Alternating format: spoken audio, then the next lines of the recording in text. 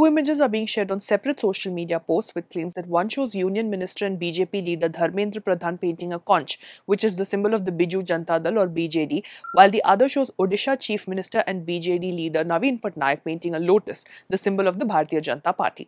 Reverse image search of the photo of Pradhan led to a few pictures showing him painting lotuses on walls at various locations in Odisha. On 15 January 2024, the BJP launched a wall painting drive in Kandhal village, Deogarh, Odisha on the occasion of Makar Sankranti to boost people's confidence in Prime Minister Narendra Modi's leadership ahead of the Lok Sabha general elections.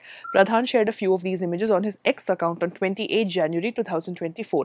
Reverse image search of the photo of Patnaik painting a lotus led to the original image reported by Sambad English According to this report, Patnaik doodled on a wall as part of a street art activity organized by the Bakul Foundation on the occasion of World Water Day in 2013. Upon comparing the viral images with the ones we found in our investigation, it is evident that the original pictures were morphed to create the viral images. To sum up, as morphed images of Dharmendra Pradhan and Naveen Patnaik painting each other's party symbols are being shared as real images, these posts are fake.